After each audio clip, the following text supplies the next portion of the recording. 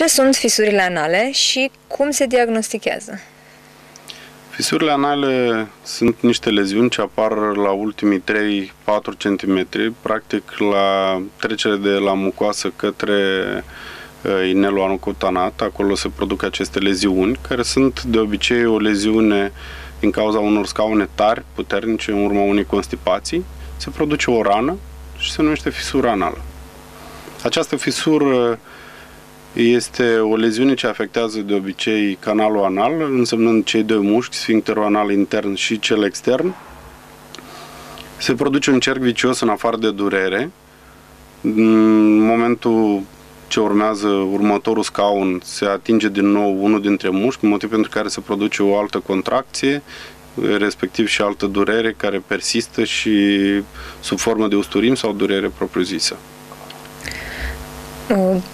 Trece vreodată de la sine, cum mai cred unii oameni?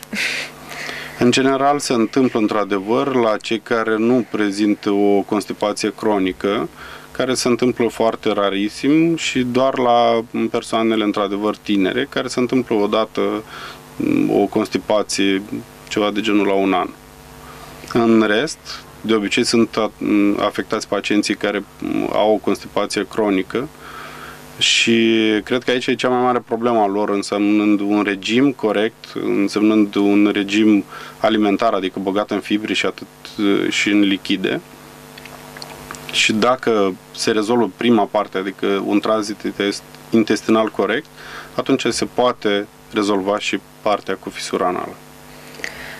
Deci este suficient un regim pentru a fi prevenite în ceea ce înseamnă o prevenție, însemnând, da, într-adevăr, asta în primul rând, adică regimul, doi, un consult neapărat, deoarece leziunile, din păcate, de multe ori se pot infecta, pe lângă pot apărea polipi sau papilite hipertrofice, acestea cresc în dimensiuni în timp și se produce un cerc vicios care se întrețin una pe cealaltă. Fistule și abcese sunt ulterioare acestora, sunt niște complicații care apar nu neapărat imediat, ci în timp. Uh, și care este schema de tratament cea mai frecventă? Schema de tratament într-o fisură anală însemnând în câteva etape, prima dintre care însemnând un tratament topic, adică o cremă, um, evident și ajustarea cu un regim foarte corect și bogat în fibre, cu miere de albin, ulei de măsline, lichid de 2 litri pe zi, supe ciorbe la prânz, uh, salate, toate lucrurile acestea ajută foarte mult și atunci când avem un tranzit corect, după aceea practic putem să rezolvăm și leziunea de la nivelul canalului anal, adică fisura anală. În etapa a doua, însemnând atunci când avem deja niște probleme acolo și în urma tratamentului topic nu s-a rezolvat, se intervine chirurgical făcându-se mici intervenții pentru a scoate acele papilite sau polipi de la nivelul canalului anal care au apărut în urma acestor infectări de la fisură sau toxina botulinică ce se poate face în cazul unor fisuri anale. Asta e o altă etapă. Și ultima dintre etape pentru o fisură anală cronică, care nu răspunde la tratament și tot recidivează și duce pacientul într-o incomoditate și un disconfort major, duce către intervenția chirurgicală de la spital. Adică acea sfincterotomie minimă care se practică de cei mai mulți dintre noi chirurgii, ce rezolvă practic problema.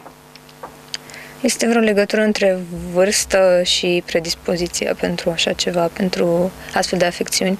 Nu, în mare parte nu. În mare parte nu.